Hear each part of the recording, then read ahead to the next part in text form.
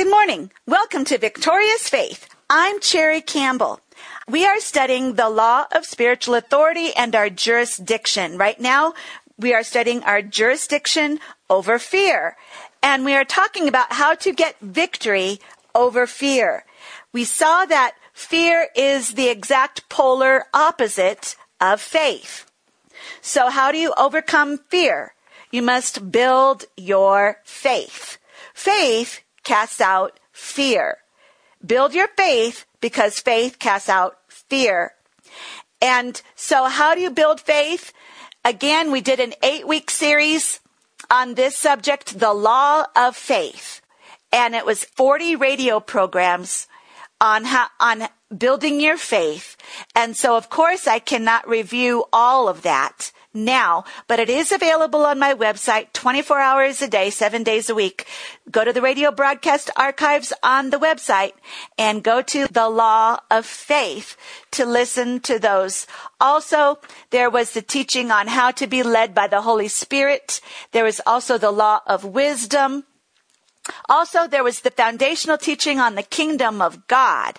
That was a seven week series, and that is foundational to these other series. So anything you have missed, you can listen to them on the website.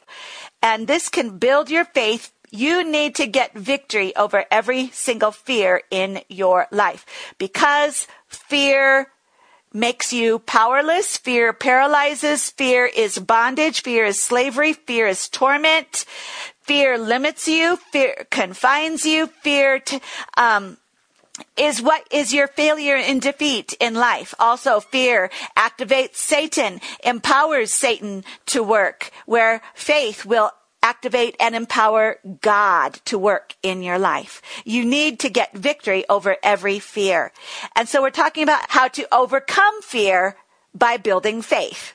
Get faith, build your faith to overcome fear. Number one, find the scripture promises that promise you protection, deliverance, help from the thing that you fear. And so go to the Word of God, see where God has promised you the deliverance from the thing you fear or the provision that you need in your life in the area where you had fear of not having it. And then you meditate on those promises. As we said, Romans 10, 17 says faith comes by hearing and hearing by the word of God. So it's faith coming by the word of God, but the word hearing in the Greek, the New Testament was written in Greek.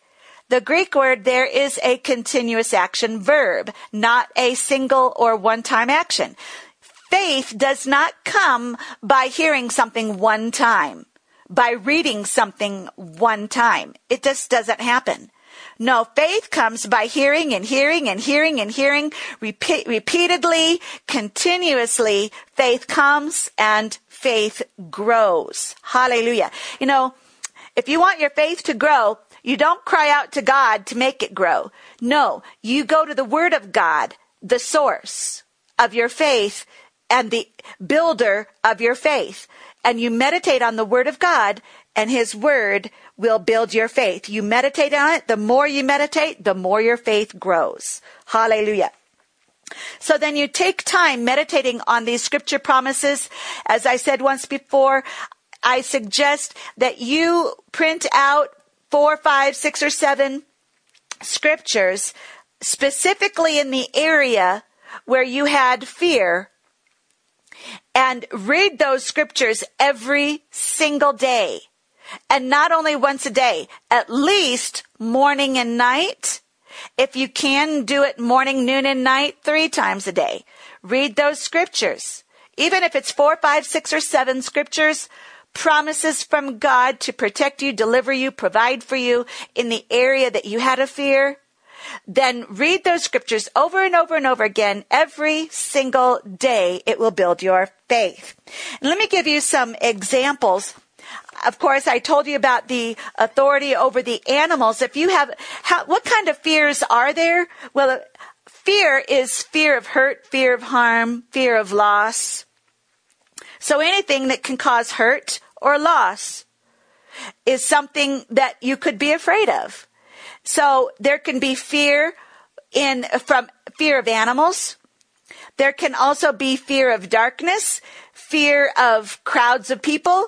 That is, you know, people are afraid of rejection, afraid of um, being made fun of, afraid of uh, all kinds of things in that area socially. Then there's fear of financial loss.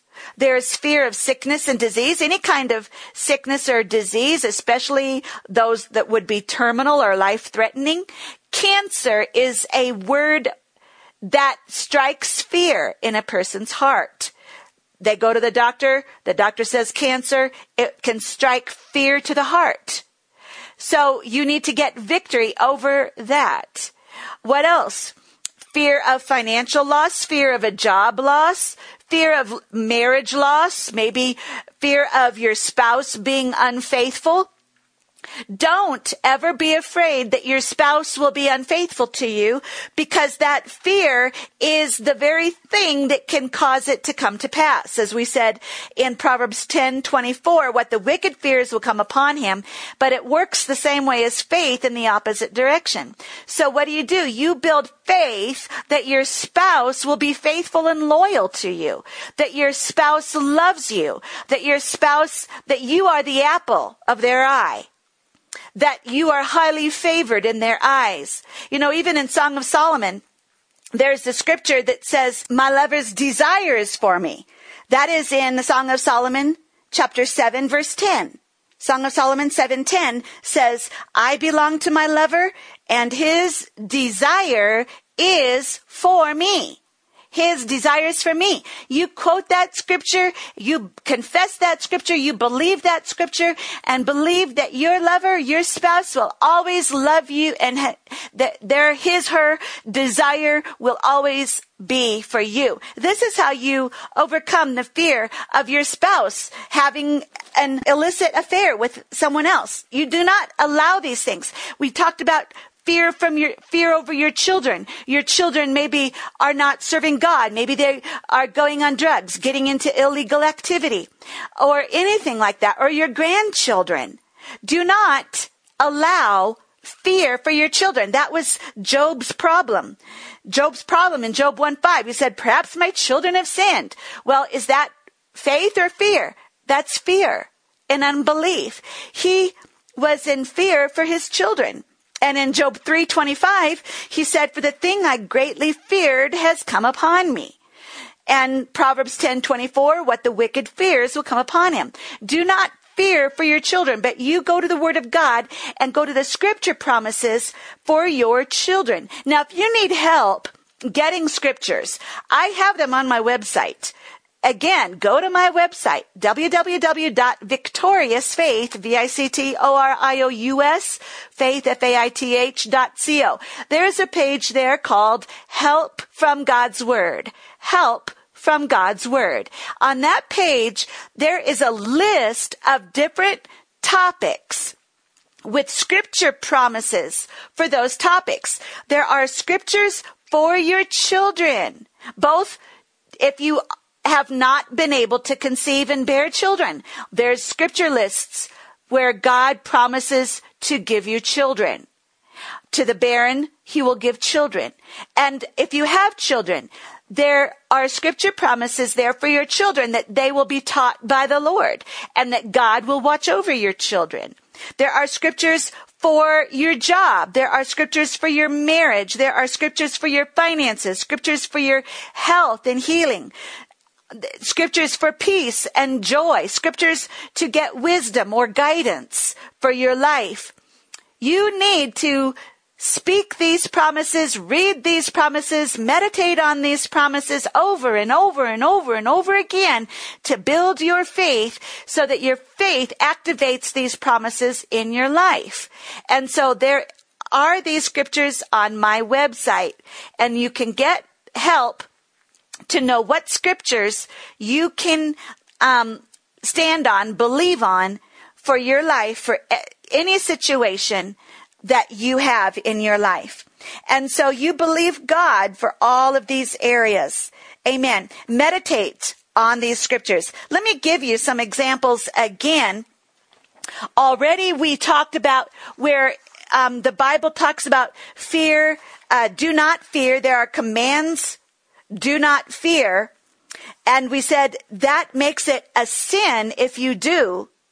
Because when it says do not, it's not a suggestion. It does not say try not to, but I understand if you can't help it. No, God never said that. He said, don't do it. Don't be afraid. Why? Because with every command to not fear, God always gave a promise that he will watch over you. He'll take care of you. He'll protect you. He'll save you. He'll deliver you. For example, let me show you some of these scriptures. Joshua 1 9. Be not afraid. Don't be afraid. Neither be thou dismayed, for the Lord thy God is with thee.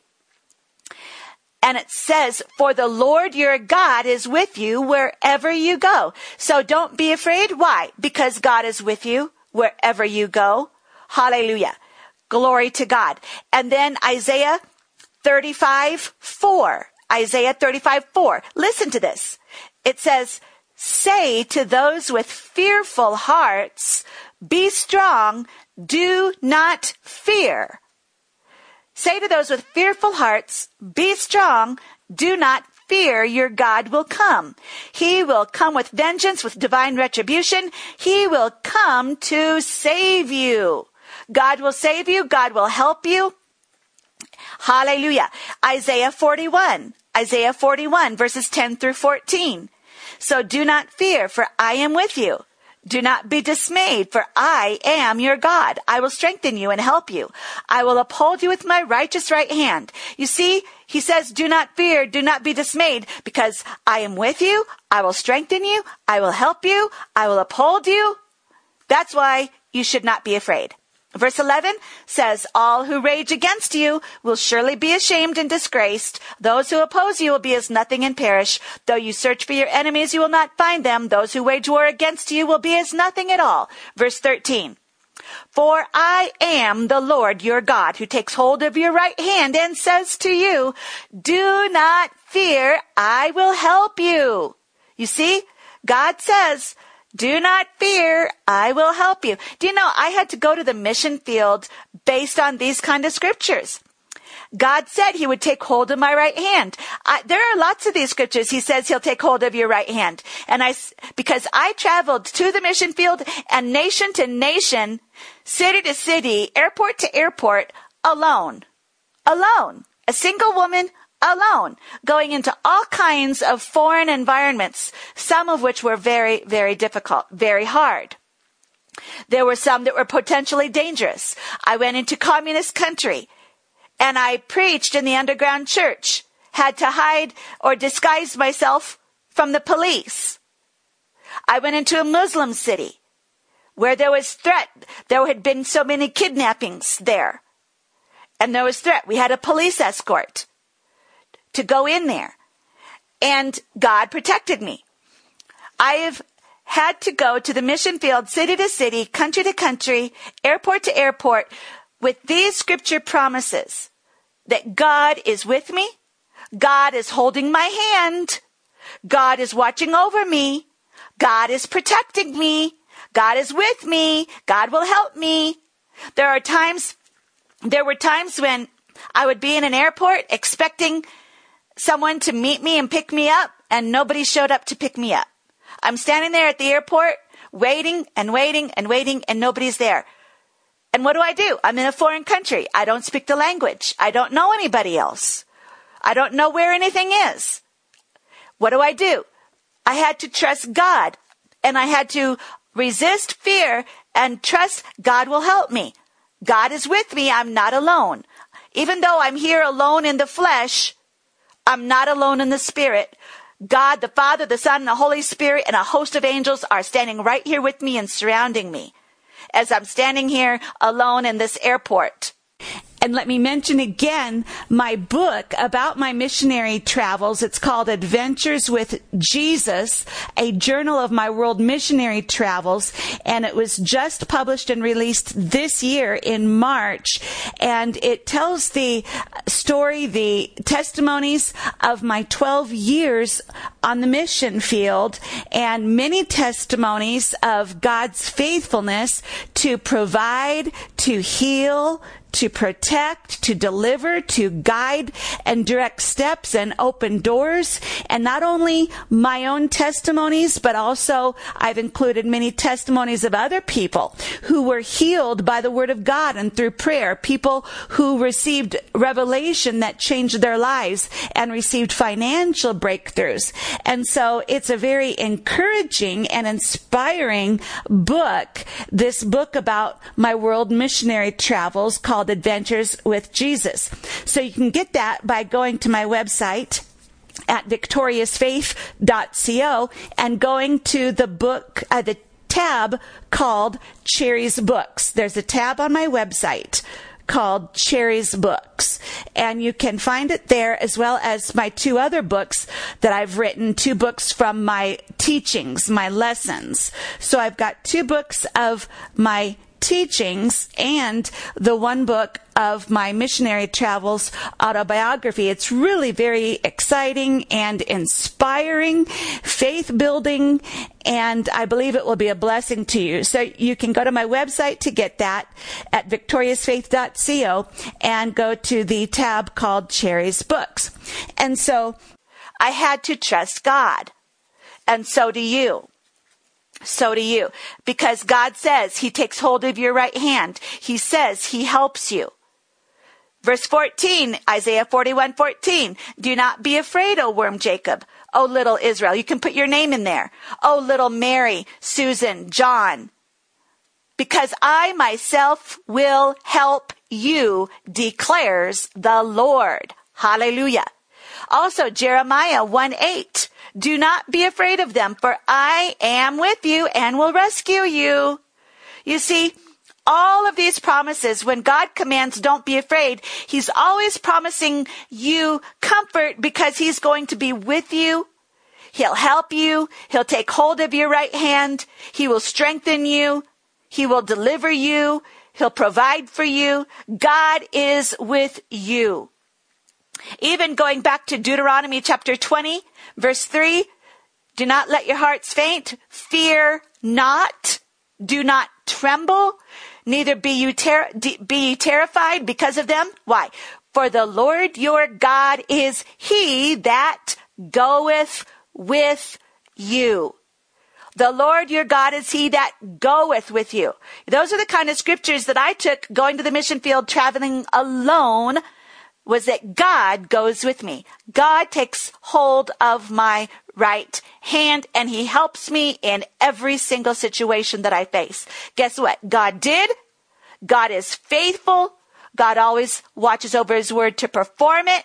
God is always watching over you. But faith is what activates it.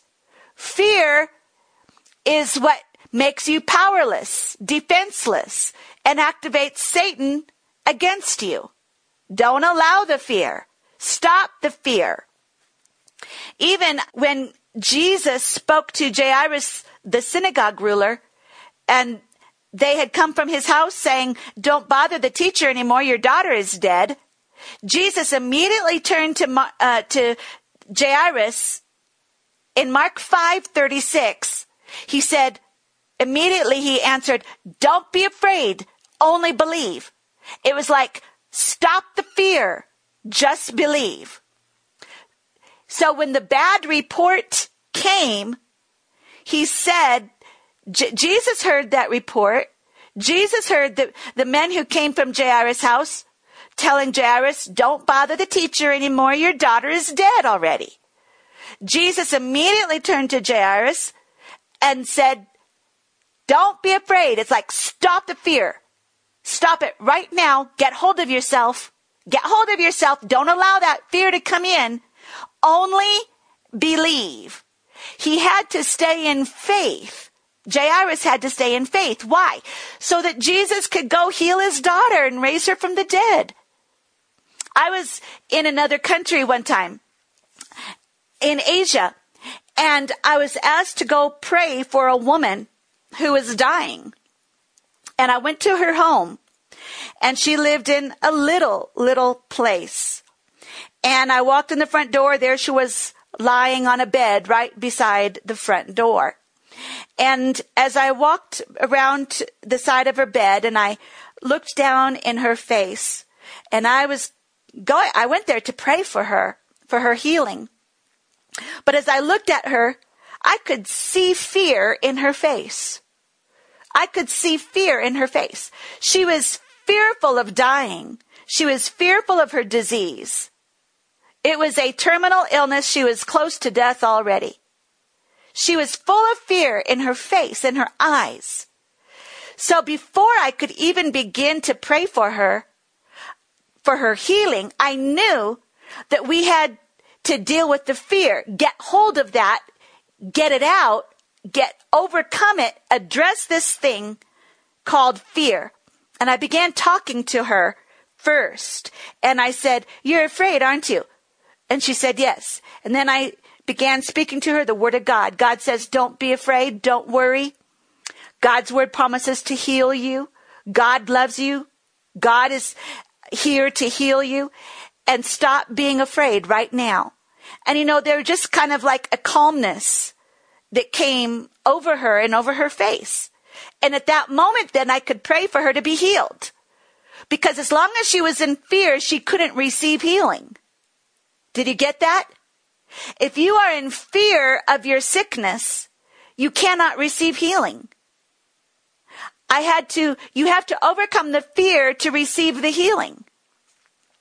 And so I spoke to her these words to addressing fear specifically saying, now stop being afraid. Don't be afraid anymore. God is here. God has promised to heal you.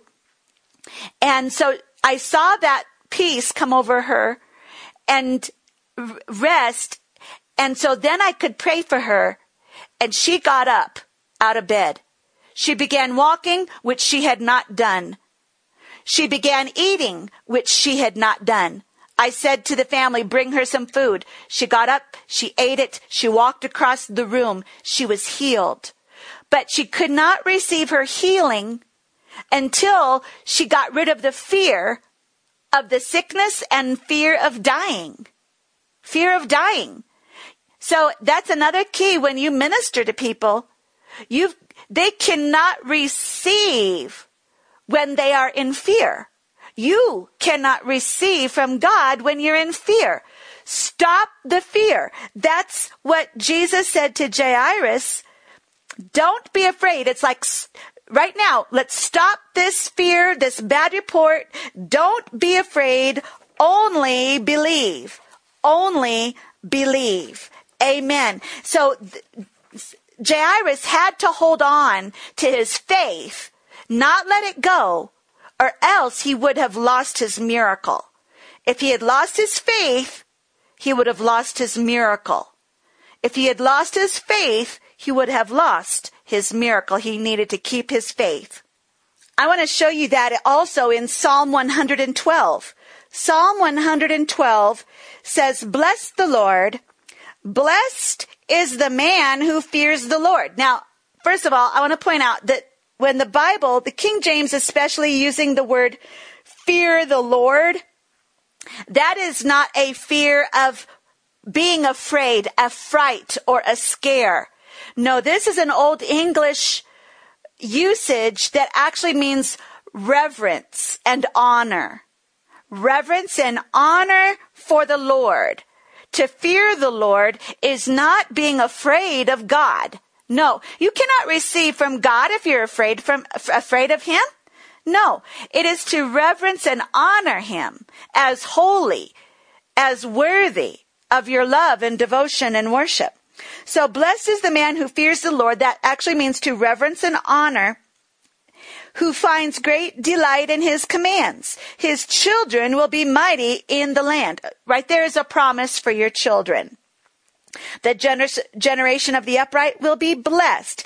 Now look down, skip to verse 5. Verse 6, verse 6. Verse 6 Surely he will never be shaken.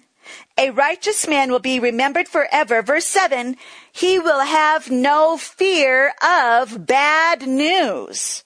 No fear of bad news. His heart is steadfast trusting in the Lord. Why do you have no fear of bad news? Because your heart is steadfast, fixed, steady in your trust in the Lord. Verse 8, his heart is secure. He will have no fear. His heart is secure. He has no fear. In the end, he will look in triumph on his foes. You need to make your he- heart secure your heart secure and steadfast. How? By trusting in the Lord. Then you will not be afraid of anything bad that comes or any bad news that might come. Not that bad news won't come and not that fear won't come or that fear won't try to come. Fear will always try to come. It's the spirit of the devil. It is the spirit of fear. It tries to come. It comes with bad news, but in your heart, you rise up. You'll say, nope, it's not going to bother me. God is protecting me. God is my deliverance. God will help us in our time of need. And you'll quote scriptures like Psalm 23, 4, even though I walk through the valley of the shadow of death, I will fear no evil, for you are with me. Your rod and your staff, they comfort me. You quote Psalm 27, 1, the Lord is my light and my salvation. Whom shall I fear? The Lord is the stronghold of my life. Of whom shall I be afraid? And Psalm 34 4, I sought the Lord. He answered me. He delivered me from all my fears. Amen. Trust in the Lord, remove fear, walk in faith, trusting in God.